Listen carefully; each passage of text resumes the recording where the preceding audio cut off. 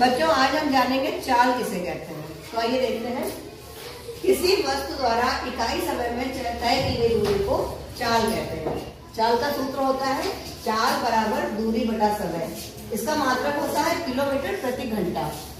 और अगर हमारे पास इन तीनों चीज़ों में से कोई भी दो चीज़ें होंगी तो हम तीसरी चीज़ निकाल सकते हैं। अगर दूरी और समय पता होगा तो चाल निकाल सकते हैं। चाल और समय पता होगा तो दूरी निकाल सकते हैं। और दूरी और चाल पता होगी तो समय निकाल सकते हैं। धन्यवाद।